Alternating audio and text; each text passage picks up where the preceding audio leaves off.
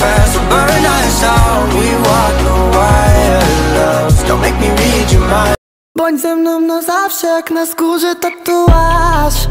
Daję słowo ci, że będzie warto. Nie potrzeba słów Dzień dobry, dzień dobry kochani, witajcie w poniedziałek. Odwiozłam chłopaków do szkoły i właśnie wracam sobie do domu. Ja dogrywam tutaj wam to, co mówiłam, bo niestety zapomniałam wyciągnąć e, kabel do AUXa i nie nagrało się, a miałam fajne rzeczy do poopowiadania i no tam widać, że psy goniły za kotem i na nie zaczęłam gwizdać, żeby przyszły do mnie. E, No. I tak. Wczoraj byliśmy w tym e, kinie i chciałam Wam poopowiadać na temat tego filmu e, pod tytułem Lee, o którym też e, wspominałam e, ostatnio właśnie w na live. Więc tak. No, tak pokrótce Wam opowiem. Oczywiście wiadomo, że to zupełnie inaczej, bo tam ja też do Pimpusia gadałam.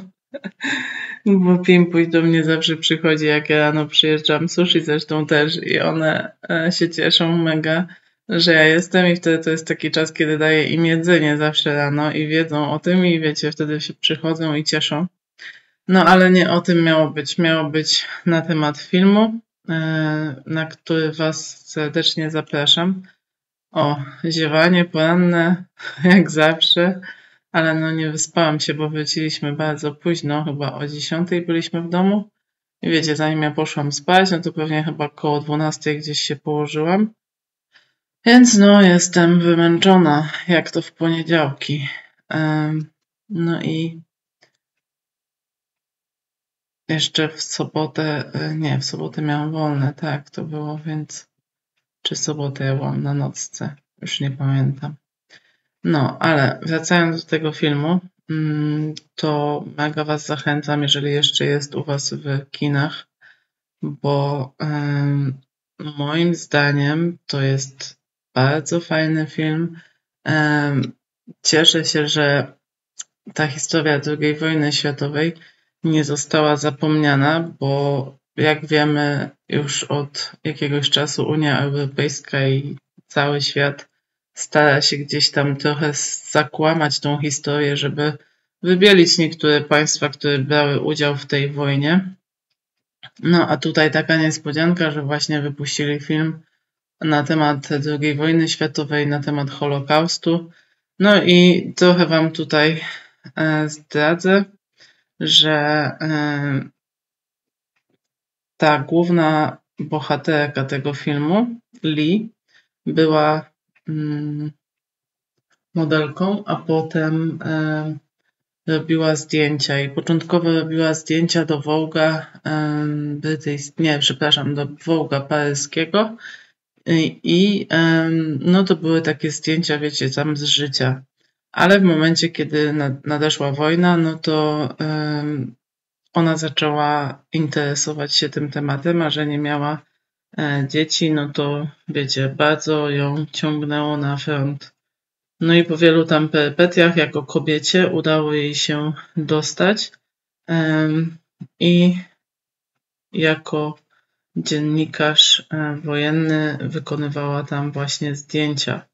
No i mega przejmujące są te kadry właśnie, w których pokazują te zdjęcia, bo to są zdjęcia z amerykańskiego Vogue'a.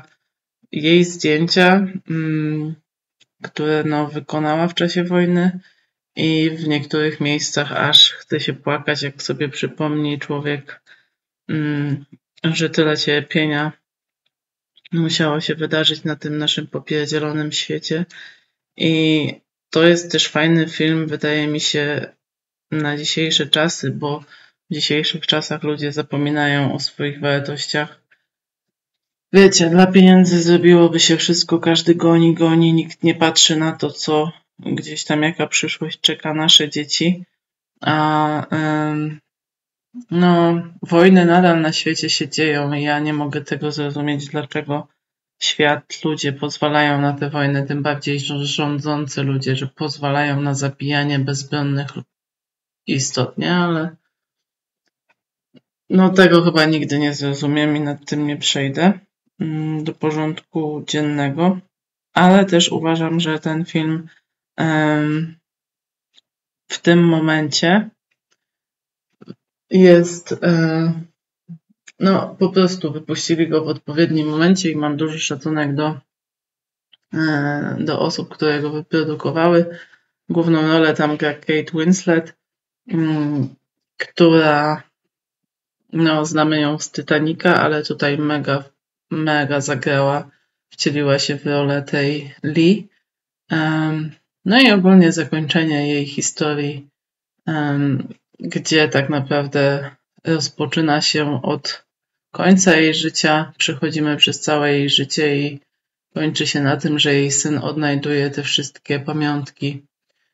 No. Dla mnie to też jest taki dosyć ważny film, bo moich dwóch wujków zginęło w czasie II wojny światowej. Jeden wujek leży u nas na cmentarzu razem z moim tatą. Zginął w wieku 27 lat czy 28, bo został postrzelony a drugi wujek zaginął i nie ma o nim wieści. Tam no bracia mojego taty gdzieś tam niby go chcieli odnajdywać i tak dalej, ale ostatnie miejsce jego jakieś tam było wiadome, że był w Lamborku i później e, słuch o nim zaginął. Więc albo coś mu się stało i już nie żyje, albo po prostu założył rodzinę i nigdy nie wrócił tutaj na swoje rodzinne tereny i tam pozostał, ale no to wydaje mi się też trochę dziwne. Z drugiej strony, no, um, jeżeli mu tam było dobrze, no to mógł też nie wrócić, ale no nigdy się tego nie dowiemy, bo wiecie, ja jakoś, nawet jeżeli miałabym chęci się dowiadywać na ten temat, no to nie wiem od czego zacząć, a um, z drugiej strony też nie mam czasu i pieniędzy na to, żeby E, gdzieś tam odszukiwać daną osobę i dowiadywać się, jakie były jej losy. No, ale gdzieś tam ten czas tej II wojny światowej przez to jest mi bliski. I no i tyle. I wiecie, że jak mam jakiś problem, to zawsze chodzę sobie tam do tego wujka. Często chodziłam na cmentarz i opowiadałam jemu o swoich tam jakichś problemach. Jak wiemy też, e, wiele filmów, które zostały wyprodukowane na temat II wojny światowej, stara się gdzieś tam e, zakłamać tą rzeczywistość wojenną i nie zawsze pokazuje się rys historyczny takim, jakim on był. Mi się wydaje, że w tym filmie jest to dobrze pokazane. Nie ma tam mowy mm, o Polsce akurat, no bo to jest pokazane z punktu widzenia Francji i Stanów Zjednoczonych. No ale nie wiem, czy tam gdzie, gdziekolwiek było słowo na temat Polski, ale chyba nie. Było słowo na temat właśnie całej Europy i coś tam, ale typowo o Polsce nikt tam nic nie mówił, więc Mm, ja słuchałam chyba uważnie, więc myślę, że nie, że tam nic nie było na temat Polski. No i e, historia Lee pokazuje właśnie, jakie kobiety w czasie wojny były silne. Bardzo wiele kobiet e, było gwałconych, e, zabijanych i wiecie, z punktu widzenia mnie kobiety, nie? Takie patrzenie na ten, na ten wątek właśnie kobiet w czasie II wojny światowej. Tam Lee też opowiada swoją prywatną historię, w której e, była gwałcona przez, przez kogoś, bo jej mama zachorowała i, i, i ona była zgwałcona przez pana, który przyjeżdżał do rodziny, w której mama ją umieściła, coś takiego coś, jakiś właśnie tam wątek i tym bardziej jak ona patrzyła na te gwałcone i bite dzieci, to doskonale wiedziała, dlaczego one się tak zachowują. I tam wiele jest takich momentów w tym filmie, że nikt nic nie mówi, a wy wiecie o co chodzi, nie? I to jest moim zdaniem takie wow, takie szapobadla reżysera, że widz domyśla się o co chodzi, nie? Że widz domyśla się, że ta dziewczynka została zgwałcona i że była przetrzymywana i bita. E, no. W efekcie te zdjęcia Lee nie zostały opublikowane w Vogue'u francuskim, natomiast po jej śmierci bodajże zostały opublikowane w Vogue'u amerykańskim, bo Stany Zjednoczone nie bały się przeciwstawić Niemcom i e, otwarcie mówiły na ten temat. No, w dzisiejszych czasach historia jest zupełnie inna i bardzo szkoda, że wiele państw zapomniało o tym, co się kiedyś wydarzyło i że teraz Niemcy gdzieś tam Unii Europejskiej nadal chcą wieść ten swój prym i, i rządzić światem, no bo to, tak mi się wydaje, że przynajmniej tak jest, że, że mają bardzo duży wpływ na Unię Europejską i no i wiecie, niestety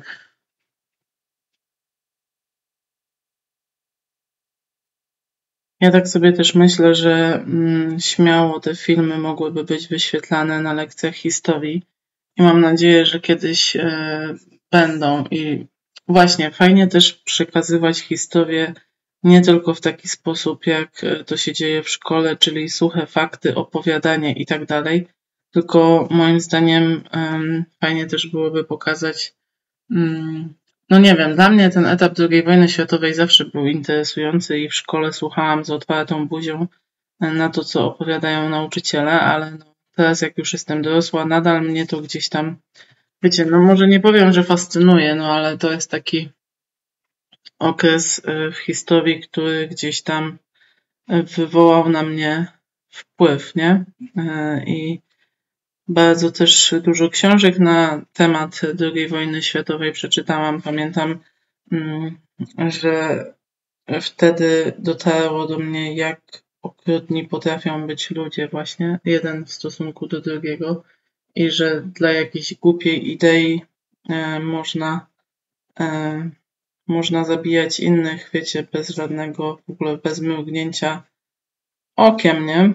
Więc to też pokazuje, że nie mamy wdzięczności do tego, co nasza historia pokazuje trochę też, bo na przykład ja patrząc na moje dzieci, wiem, że jakby wiecie, no mam nadzieję, że nigdy nie, nie dosięgną, e, nie, nie będzie wojny, tak, podczas ich życia i tak dalej, i że nie będą musiały um, gdzieś tam borykać się z takimi przeżyciami jak te dzieci, które w czasie wojny żyły. Natomiast myślę, że fajnie byłoby im to pokazać, żeby zaczęli doceniać to, co mamy, nie? Żeby ludzie zaczęli w ogóle doceniać wolność. Mi się wydaje momentami, że ta wolność w ogóle dla nas w dzisiejszych czasach, może nie mówię o wszystkich, ale dla wielu osób słowo wolność nic nie znaczy, nie? Albo mało znaczy. Hmm i jakoś tak słabo jesteśmy patriotami. Coraz mniej, coraz mniej tych patriotów chyba w tym naszym kraju. No, więc tak, ja powoli idę. Byłam też na zakupach na dzisiaj. Plan jest taki, że chyba pójdę na rower. Mm, zjem śniadanie, ogarnę się, polecę sobie na rower, bo nie pada, więc e, może się wypogodzi, bo to tak wygląda, że chyba nie będzie padało. Więc mam nadzieję, że mi się uda. Jak wrócę z roweru, no to wiadomo, odbieram chłopaków, zrobię obiad i dzisiaj mam nockę w pracy, więc ten dzień pewnie mega szybko mi zleci. No tak to jest, jak mam właśnie nocki, to dosyć szybko te dni, te dni lecą. Dobra, zakupki, słuchajcie, maliny dzisiaj. Mi się ta jedna tak zgniotła bo chłopcom ostatnio kupiłam te maliny, pamiętacie, które chcieliśmy oblewać czekoladą. No i ja je wrzuciłam do zamężarki. To Wam pokażę. Ja je wrzuciłam tak luzem do zamężarki. No i co? W sumie tą zamężarkę teraz przez to będę musiała myć.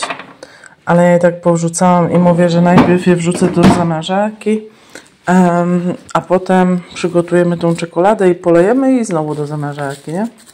No, a chłopcy oczywiście połowę zjedli, więc dzisiaj kupiłam drugie maliny i dzisiaj zamierzam to zrobić, póki ich nie ma. A jak wrócą, no to po prostu powiem im, że zrobiłam już. Albo poczekam, niech oni to poleją tą czekoladą, ale zobaczymy. Bułeczki. 10 bułeczek to będzie na dzisiaj i na jutro. Mi się też już nie chce codziennie wchodzić do tego sklepu po świeże bułki, jajka. Tam w sumie jeszcze mam, ale no wzięłam mój portfel. Wzięłam też banany właśnie do polewania. Tu mam co? Kawałek jakiegoś pasztetu luksusowego. Ja lubię zawsze pasztet taki podwędzany, ale nie było dzisiaj. Co jeszcze? Tu mam kawałek salcesonu. Tu mam krakowska drobiowa. I tu mam co? Jakaś polędwica z indyka. No i jeszcze chlebek. I to są moje takie zakupy. No często tak właśnie codziennie chodzę po jakieś tam, wiecie, wędliny i na świeżo, żeby mieć w domu, nie? Ja też mam Armagedon w kuchni. Wszystko po wczoraj zostało tak, jak zostało, więc muszę też to ogarnąć. Ale najpierw pościelę łóżko, bo ono zaraz zacznie mnie wołać i jeszcze mi się zachce spać, nie daj Boże. I to nie będzie wtedy dobrze, więc muszę schować e, łóżko i wtedy będę sobie działać, bo ja dzisiaj serio, jakbym, jakbym się położyła, to na pewno bym jeszcze spała, nie? Na stówę. Dobra, słuchajcie, nie wiem czy... Bo nie wiem, czy mnie będzie słychać. Poszłam sobie na rower. Słońce wyszło, więc stwierdziłam, dobra, trzeba ruszyć dupę, mam czas, zjadłam śniadanie, ogarnęłam naczynia i mówię, idę, bo przecież miałam chodzić, prawda? I Kasia mnie dzisiaj też zmotywowała. Nie ta moja Kasia, tylko inna Kasia, która kupiła sobie rowerek stacjonarny i mnie, i mnie po prostu od rana dobiła, że pykła sobie 12 km i sobie myślę, nie, nie będę gorsza, idę. No więc podenerwuję Was widoczkami. Tutaj, gdzie dojeżdżam na takie łąki. I wtedy robię sobie chwilę przerwy. W ogóle dzisiaj ubrałam sobie bluzę, bo nie założyłam ani podkoszulkę, ani nic, tylko mam sam stanik sportowy i bluzę na to. I myślę, bo jak wychodziłam, to było tak szarawo jeszcze, nie? Ale gdzieś tam słońce się przebijało przez chmury, sobie myślę, dobra, będzie pewnie dzisiaj taki szarawy, lekko dzień, nie będzie za ciepło. A jak już dojechałam te 15 km, to kurde, widzicie, jest cieplutko, pięknie, słońce świeci, a ja jestem spodzona jak mysz kościelna. Cała mokra jestem, ale no jak wrócę, to po prostu wrzucę wszystko i tak do pralki, więc e, no, może mocniej się wypocę, więcej tłuszczu się wyleje. no, a tak na serio to Boże, już mi brakowało w zeszłym tygodniu tego wyjścia na rower i sobie myślę, nie, idę łapać endorfinki. Kiedyś muszę, jak będę miała jakiś dzień wolny, może w środę, tak sobie myślę, że się przyjadę w tamtą stronę, bo tam nie wiem, co tam jest, dokąd tam się dojedzie i sobie zrobię może taką rundkę, że naokoło, bo podejrzewam, dokąd tam dojadę. No, zobaczymy. Trzeba jakieś nowe szlaki wy, wytyczać sobie. Może jakaś nowa, fajna trasa będzie. Zobaczymy. Także tak, o, widzicie, już e, klucze lecą, więc jesień pełną parą zbliża się do nas. Nie wiem, czy to zobaczycie. Postaram się to jakoś tam zbliżyć. O, lecą klucze gęsi chyba. Także już niedługo będzie jesień. No, niestety. Tak nie lubię tej jesieni, ale to lato tak szybko kurczę. Znaczy się jesieni jeszcze tak wiecie, jesień to jeszcze tak mi nie przeszkadza, ale no zimę nie lubię. Może przez to, że e, nie mamy takich udogodnień w domu i że wiecie, trzeba do tego pieca chodzić, trzeba ten opał ogarniać. Może dlatego. Bo gdybyśmy mieli jakieś udogodnienia w domu, nie wiem, piec na pelet czy jakiś inny rodzaj ogrzewania, jakby nie trzeba było tego ognia robić i pędzić co chwila, to pewnie byłoby lepiej, ale no nie narzekam, nie jest też tak źle. I tak uwielbiam to, że mieszkam tak jak mieszkam i gdzie mieszkam. I że mieszkam na pięknych Kaszubach. No. Gdzie wy lecicie? Nie w ta strona. Nie w ta strona. W ogóle popierdzielił wam się klucz. no, coś nie mogą się dogadać. Komunikacja i, im leży. Dobra, ja lecę z powrotem i polecę pod prysznic e, i będziemy działać ogarnę w domu i pójdę do tej piwnicy troszkę tam robić. Zadzwonię też dzisiaj do pana od kosiarki, no bo skoro już jest ładnie, to może by można skosić w tym tygodniu tą trawę. Ja mam dzisiaj nockę, a potem mam kilka dniówek pod rząd, e, w sumie 8-godzinnych, e, więc tam w te dni może też coś jeszcze porobię. E, coś mi się uda po powrocie z pracy ogarnąć, zobaczymy. No, ale tak, lecim na Szczecin. Ja i moja strzała. Dzisiaj żadnych mądrych myśli Ewy Coelho nie będzie, były rano, więc za dużo mądrości w ciągu dnia też nie możecie mieć ode mnie. Ruszajcie dupeczki, to będzie dobrze.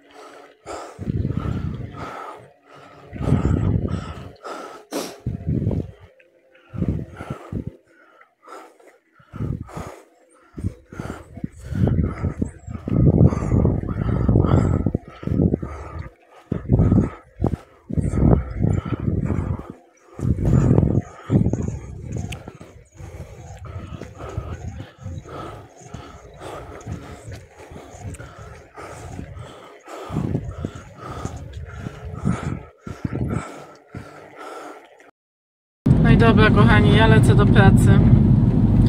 E, Muszę napisać do trenera, żeby Jasiek szybciej wychodził, bo potem dzieje się jak dzieje i ja muszę pędzić na wariata i no o ile latem to jeszcze, ale zimą ja sobie tego nie wyobrażam, więc nie wiem, coś musimy pokombinować w tej kwestii.